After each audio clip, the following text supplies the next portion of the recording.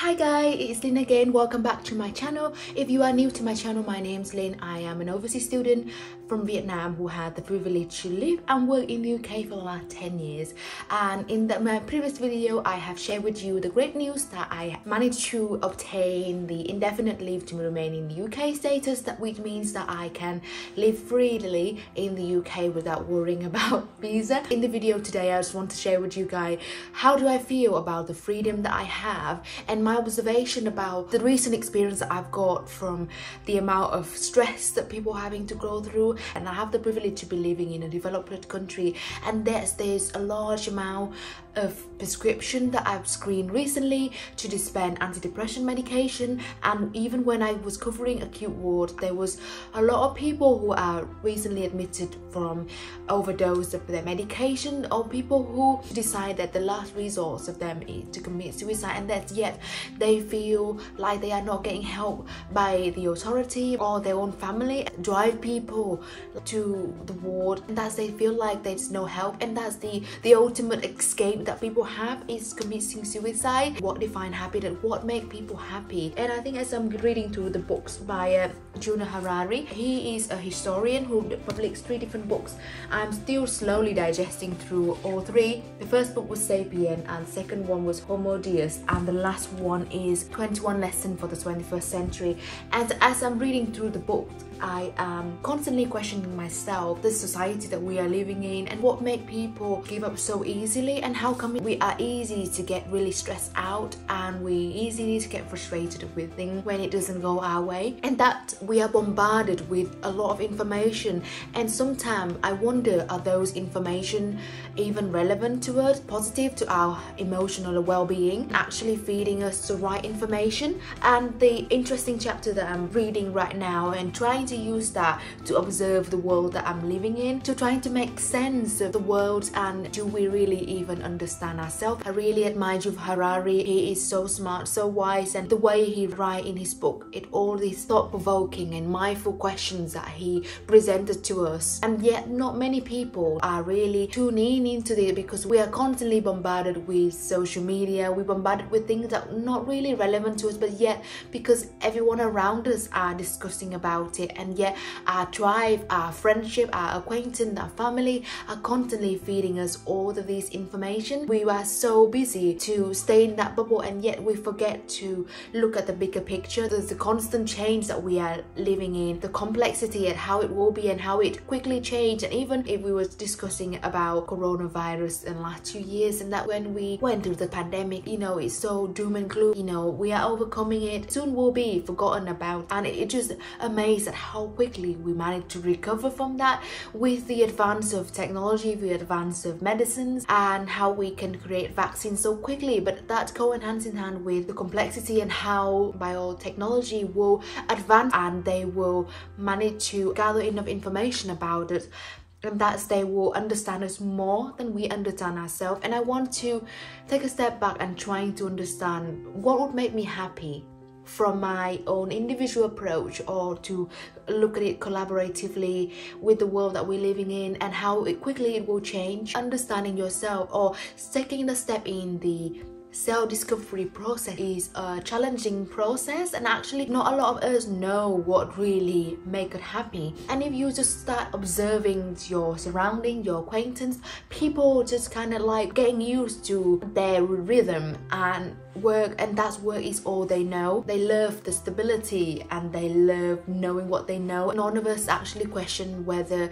it will bring us happiness. And actually maybe we are too focusing as a pharmacist as the uh, healthcare professional. We trying we focus so much on trying to cure people trying to cure one individual condition and we forget the bigger picture. The care that we provided for patient is so fragmented. We only spend 20 minutes with them. Rushing through when I am at the community pharmacy or when I am at the hospital, the amount of time that I get to speak to the patient is so little and that's I was trying to just treat their acute condition but they actually behind them is the whole picture, the holistic approach about the patient as a whole and the thing that they're going through and that we're trying to just treat one condition but actually the root underneath that is actually so much deeper. And yet we are so busy and that we never had chance or none of the the fragmented care that patients receive to treat the whole picture to actually get to the root of it and help patient to overcome.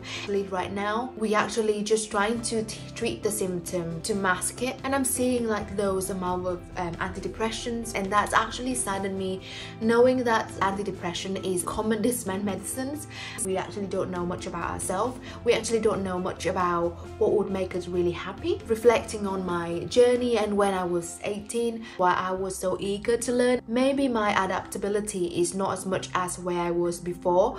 I am maybe more resistant to changes as I'm getting older and I have more things in my life. Maybe the fear of losing all the things that I've got is so much, the, the luggage that I have is so heavy and that's I'm, I'm no longer want to forget about that or take a step back from it and put my bag pack again going on an adventure to explore a bigger horizon. People will be questioning me like you spent so much of your time at university to get the degree that you wanted and yet are you crazy to just give it all up and try something else different? Are you crazy to go away from your stability the job that you have the good paycheck that you have? The books that really remind me that the opposite is true and that yet you can forget about the thing that you imagine. You can always start from the beginning. Whether I am 15 or 50, I can always make the change. The most important skills that I need to equip for myself, eager to learn, to have that flexibility and to have that the reserve mental balance to overcome all the changes that we are facing we just don't know what the future holds. Sometimes I am questioning myself, why am I becoming like this? And I think the the answer could be because we're living in a social media world that technology is changing us the acquaintance that we have everything that we have gathered is based on a small collective group of our friendship our uh, family and acquaintance that feeding us with all their opinion and that we are no longer looking at the bigger picture. If we are searching on google all of that suggestion that google or amazon suggests to us you might also like kind of suggestion or they based on our search. And it's ultimately we form our opinion and how it's so subject to bias. Or that's all we know. And if we are unwillingly to explore further we ultimately will become subject to those bias. Chapter chapter 15 when Yuval actually gave us the concept about ignorance and how we are so ignorant. Behavioral economists and evolutionary psychologists have demonstrated that most human decisions are based on emotion reaction and heuristic shortcuts or the rule of thumb rather than a rational analysis. And that's why our emotion and heuristics was perhaps relevant when we was living in the stone age. They are woefully inadequate in the silicon age. The mistake that we are all face is that we think we know a lot but actually we don't even though we know very little because we treat knowledge in our mind of others as if it was our own. This makes us so ignorant that is to what's going on, giving us a concept that we are facing the so-called knowledge illusion which is like we are all living an information age. We are bombarded with the infinity pool of information and sometimes we forget to question are those information that we rested in our brain even relevant or are we just do what everybody else our friends are doing. We have that fear of missing out that we have to do that. The world that we're living is so complex, yet the majority of us fail to realize how ignorant we are with what's going on. We're not even aware of our ignorance as we lock inside the echo chamber of like-minded friends and well our beliefs are constantly reinforced and seldomly challenged and that's the moment that somebody challenge our opinion we become frustrated we go into Twitter to give our opinion and that's all having a little debate if somebody else disagree with your opinion. And so and we get really emotional angry at it and they actually making it so like it's not even a face-to-face -face conversation and yet we feel so outrageous and that somebody questioning our opinion. We don't dare to give any significant opinion because we are too scared of being feeling judged by other people. The solution for that, if you want to find the truth, is you need to escape the black hole of power and allow yourself to waste a lot of time wandering here and there on the periphery. Revolution knowledge rarely makes to the center because center is built on existing knowledge. The truth is that we are all trapped inside the box. Our friends and family, acquaintance are all in there feeding us with their belief and i feel like i think i mentioned that concept before in my minimalism video when i actually realized that we are trapped in this consumerism world and that we need to work hard and we need to spend and waste all our money to buy all these luxurious things because we think that it will make us happy when we have the bigger house when we have a bigger car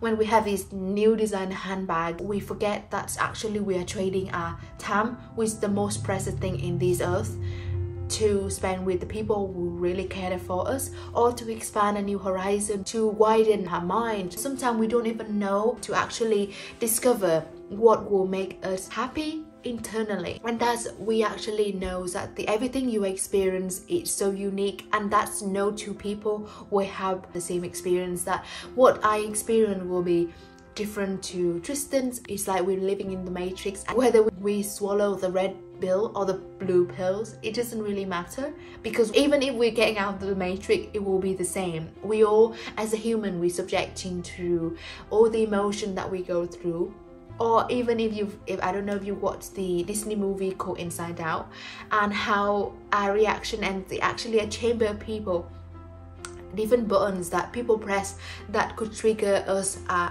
as a, our emotion and how we react to things. And it's it's how it's portrayed into that animation. Even though it's a movie for kids but actually the bigger picture is that we are all subjected to that. And if technology and government manage to gather enough data, actually understand us and find ways to manipulate us before we manage to discover ourselves. I'm afraid that we've actually all the decision or that we are going to make will be subject to bias. We probably won't know what we really enjoy. We will be subject to all that manipulation. I guess it's not fun to talk about this topic, but actually I hope that you it motivate you and if you're going through the same journey as I am, the journey of self-discovery if you have not watched my video where um, I share with you guys the biggest lesson that I've gathered is the lesson to understand about my personality understand what really make me happy. Might have the opportunity to actually unleash my freedom to learn to be subjected to learn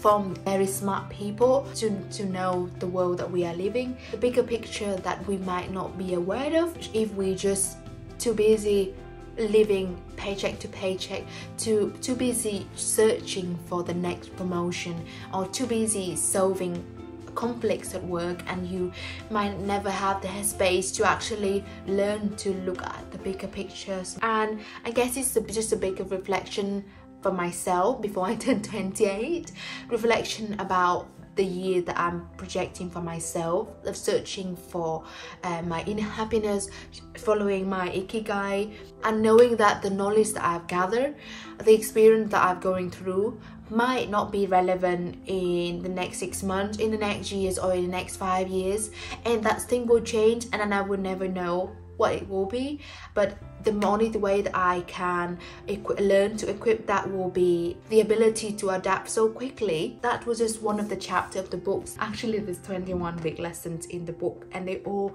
really thought-provoking debate that we should all read. If you find a video interesting then please go and buy the book yourself. Have a read through them if you have any spare time.